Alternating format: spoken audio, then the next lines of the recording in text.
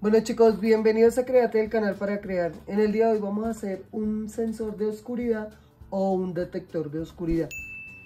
Los materiales que necesitamos son una placa de prueba o protoboard, necesitamos una resistencia de 220, eh, código del color es rojo, rojo, marrón, dorado, una resistencia de 100K, donde su color código es marrón, negro, amarillo, dorado, una fotoresistencia o fotocelda, un transistor 2N2222, un diodo LED, un jumper y unas pilas de 1.5 voltios o las llamadas pilas AA.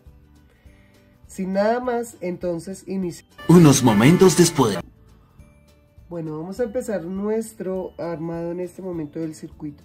Antes de iniciar, yo quiero explicar algo aquí del transistor.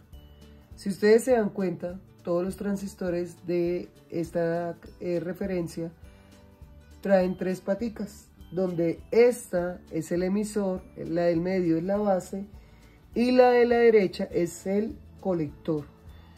Tener muy presentes qué es cada una de ellas porque a medida que voy avanzando pues la voy a estar nombrando. Entonces acuérdense que el de la mitad es la base, el del extremo izquierdo es el emisor y el derecho es el colector. Entonces vamos a iniciar con él, vamos a colocarlo.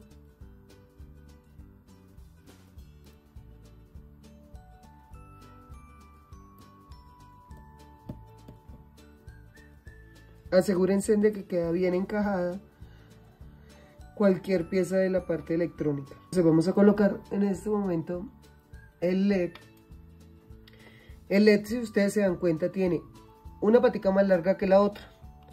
La patica larga es el positivo, la patica corta es el negativo.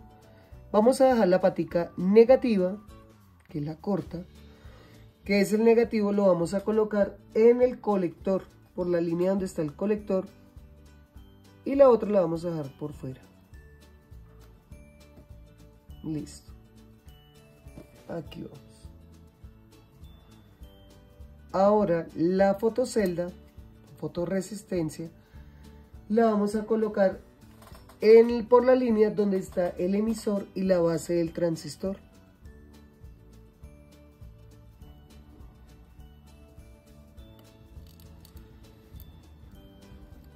Recuerden que en la placa, esta parte de aquí adentro, la corriente va a ir de manera vertical, mientras que en los extremos va a ir de manera horizontal. Listo, en este momento ya la coloqué. Y ahora vamos con las resistencias. Resistencia de 100, de 100K. Vamos a colocarla en la base, donde está la línea de la base. Y la vamos a llevar al positivo. Vamos a asegurarnos de que quede bien colocada. Y listo. Ahora la resistencia de 220 la vamos a colocar en el positivo de la foto del, del LED y la positiva de nuestra carga de energía o pila.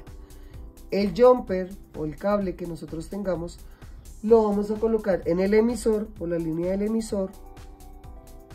Ahí les voy a estar dejando una, una imagen para que tengan muy referente el transistor. Y este lo vamos a colocar al negativo. Recuerden que nosotros ya en este momento con las resistencias ya logramos colocar la parte positiva. Entonces aquí en este momento ya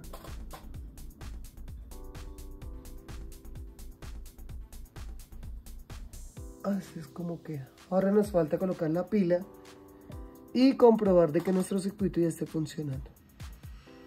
Negro lo vamos a dejar en el negativo metemos con calmita y que nos quede bien colocado en este momento las los elementos del circuito.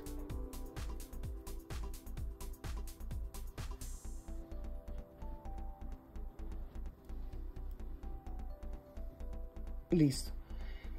Este circuito cómo funciona sucede que cuando yo cubra eh, la fotocelda o la fotoresistencia se debe encender el LED. Así es como funciona el alumbrado público. Entonces vamos a mirar y ahí está funcionando. Vamos a acercarlo un poquitico más a la cámara.